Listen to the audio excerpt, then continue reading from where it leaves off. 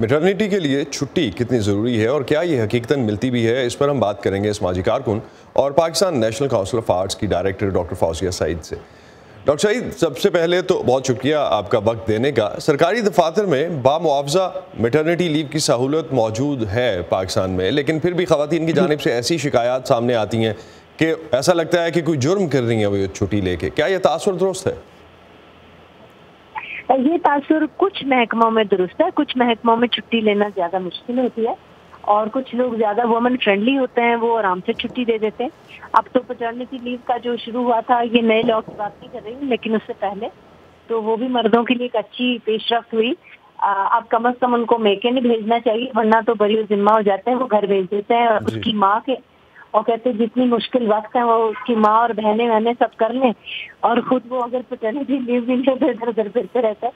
मगर कुछ मर्द हैं जो बाप बनने के बाद वाकई उसको यूज़ भी करते हैं, जो होना भी चाहिए। उनको खुद अपनी, उनका अपना बच्चा होता है तो उनको ख्याल करना चाहिए। तो इन जनरल वो कंजर्वेटिव एक एलिमेंट है जो कई इदारों में, जैसा पुलिस में मैंने सुना है कि बहुत शिकायतें होती हैं खातन को या और कुछ ऐसे सेगमेंट्स हैं जहाँ होती हैं। मगर बहुत सी जगहों पे ये एक राइट समझ के दिया जाता है। तो क्या आपको लगता है कि सरकारी महकमों में जो मेटर्निटी लीव का कानून है उसके नफाज में किसी बेहतरी की ज़रूरत है और कैसे आ सकती है वो बेहतरी? आप ये जो अभी लॉ पास हुआ उसके जी मैं उसी उसी कॉन्टेक्स्ट में कह रहा हूँ कि अगर तो वो अप्रूव होता है तो कितनी बेहतरी आएगी? और अगर हम करंट सिचुएशन में देखें तो तब कहाँ खड़े हैं? अच्छा मेरे ख्याल है कि जरा थोड़ा सा ज़्यादा ही दूसरे पेंडुलम की तरह जरा दूसरे किनारे पे चले गए। क्योंकि अगर छः छः महीने की छुट्टियाँ लेने लगेंगी तो आई एम श्योर के औरतों की जो इंडक्शन होती है, उनको जो नौकरी देना, उस पर भी असर पड़ेगा। और अगर ये प्राइवेट सेक्टर से भी एक्सपेक्ट करें कि फुल पे में छः महीने की छुट्टी होगी और वो भी तीन तीन बच्चों के लिए, चाहे आगे कम होती जाए, जितना पहले दो बच्चों के लिए होती थी और क्लियरली एक पॉपुलेशन का प्रॉब्लम है तो मैं एक तो बात ये कहूँगी कि दो बच्चों के लिए ही छुट्टी होनी चाहिए।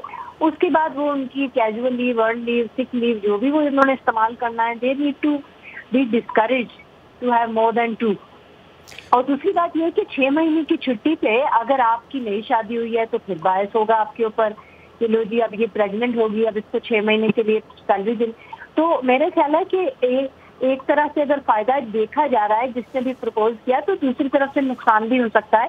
उनकी एम्प्लॉयबिलिटी जो है ना आ, और उनकी अट्रैक्शन एज लेबर या एज जो भी उस पर भी फ़र्क पड़ेगा।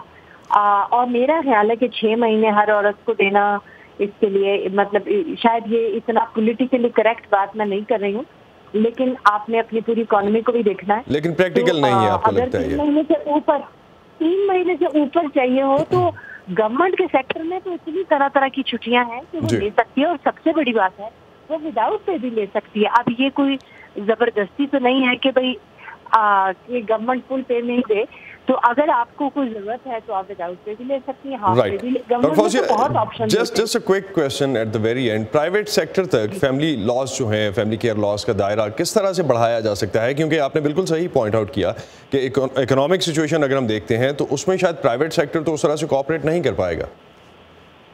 जी। देखिए फैमिली लॉज में तो बहुत सारी बातें हैं औरतों की प्रोटेक्शन की बातें हैं। मैं तो ये कहूँगी कि अगर जो औरतें घर पे झेलती हैं ये मैं उनके एम्प्लॉयमेंट की सिर्फ़ उस दावे में नहीं कह रही हूँ, लेकिन जो डोमेस्टिक वायलेंस है, अभी तक 2020 आ गया और पाकिस्तान में ये क्रिमिनलाइज नहीं हुआ हुआ। तो ये बड़ी शर्म की बात है। अगर हमने फैमिली लॉज को देखना है तो फैमिली लॉज में चलो डिवोर्स की बात आ जाती है, उसके डावर की बात आ जाती है।